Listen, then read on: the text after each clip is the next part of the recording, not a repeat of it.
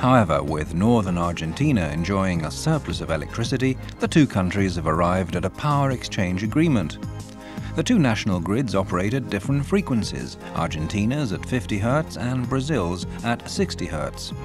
The interconnection is therefore done with a back-to-back HV-DC converter station.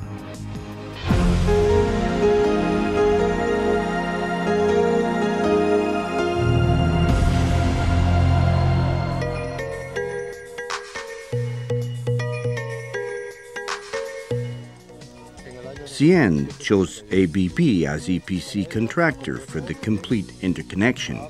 That is, the Rincon Santa Maria substation, the Itá substation, 500 kilometers of AC overhead lines, and an HVDC back to back converter station rated at 1,100 megawatts.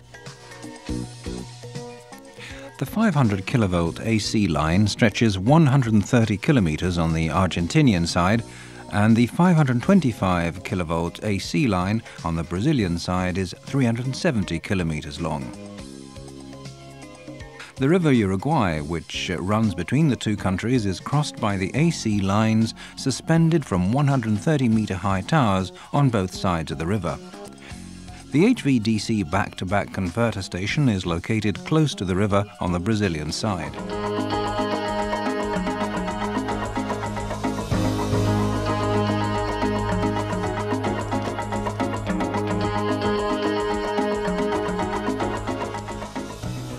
The PLC filter eliminates disturbances in the 30 to 500 kHz range.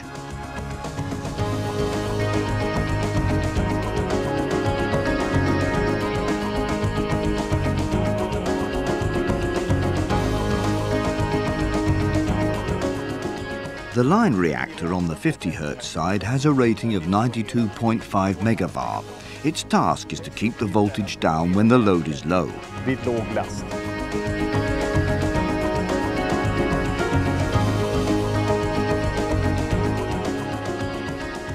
This is an HPL compact module.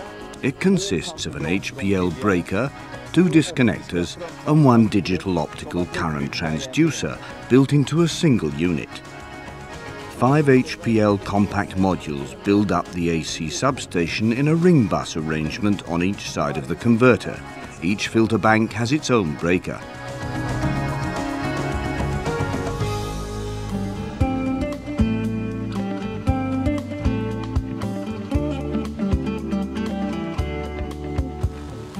The AC filters eliminate the harmonics generated by the converter, as well as, to a certain degree, compensate for the reactive power consumed by the converter. There are four filter banks in the converter station, two on the 50 Hz side and two on the 60 Hz side. Each one is made up of four branches. One branch tuned to the 13th harmonics, a high pass filter tuned to the 24th harmonics, a branch tuned to the 11th harmonics, and the branch at the far end is a high pass filter tuned for the 36th harmonics. The 11th and 13th harmonics filters include the so-called Contune reactor, which can continuously adjust its inductance to keep the filter tuned when, for example, the net frequency varies. The filter yard includes a spare phase, which can replace any of the phases when it's needed.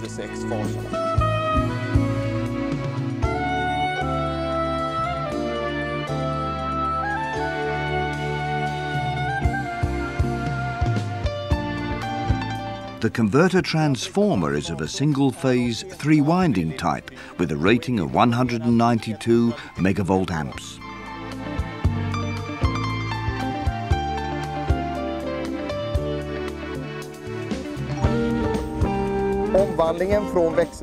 AC is converted to DC in these valve enclosures. Four such enclosures are built into a single unit. Each enclosure is a valve function made up with 36 thyristors connected in series. Each enclosure includes a fire detection and extinguishing system.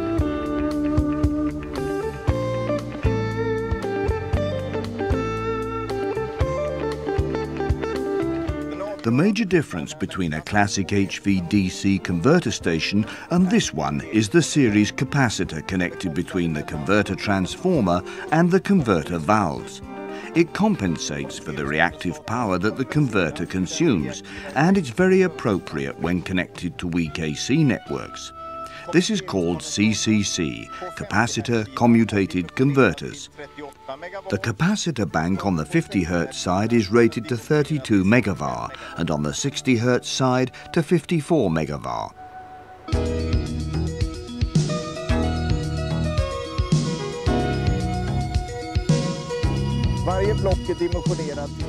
Each block is dimensioned to 550 megawatts. The voltage on the DC side is plus minus 70 kilovolts and the current is 4000 amps. There are two smoothing reactors per pole, each dimensioned to 50 millihenry.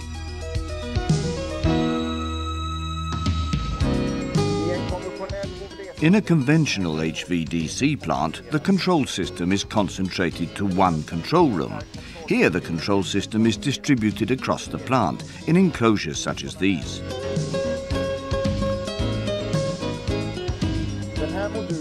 This particular enclosure contains Pole 2's control equipment. There's also an operator workstation.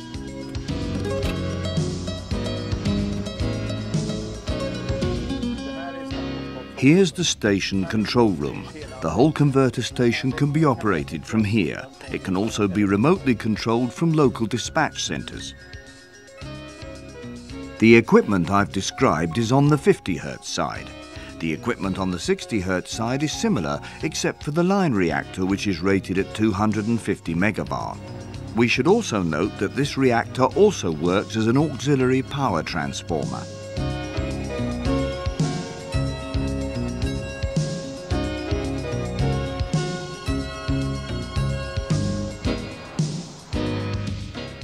This is the outgoing 525 kilovolt AC bus on the 60 Hz side. The power is transmitted to the Itá substation from where it's then fed into the Brazilian grid.